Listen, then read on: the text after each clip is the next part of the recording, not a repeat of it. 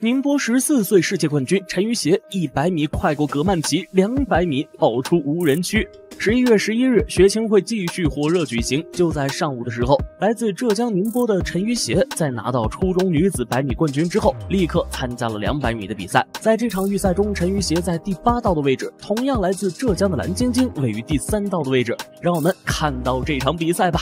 刚开始并没有拉开太大的差距，因为陈芋协是在第八道，完全看不见对手的位置，只能看出陈芋协稍稍领先。来到直道后，陈芋协展现出恐怖实力，直接冲了出去，完全没有人能跟得上。最终在最后有点放的情况下，陈芋协跑出了二十三秒六二，这距离他最好成绩只差零点零一秒。如果十二号的两百米决赛，陈芋协能在一个无雨的跑道不防水的跑，他能再一次突破自己吗？在陈芋协之，外还有一位小将值得注意，她就是蓝晶晶。这位小飞人预赛跑出了二十三秒九三，她还是女子百米的亚军。又强悍的十四岁陈芋协在，这个小姑娘已经连续打破两次个人 BP，这或许就是对手存在的意义吧。陈芋协这一次女子百米决赛的表现，甚至比大学组冠军葛曼棋都要快，这个表现简直惊呆了大家。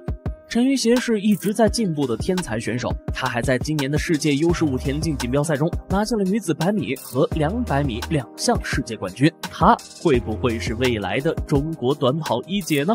视频到此就结束，如果你喜欢的话，点赞、评论、关注都是最好的支持，这对我真的真的很重要。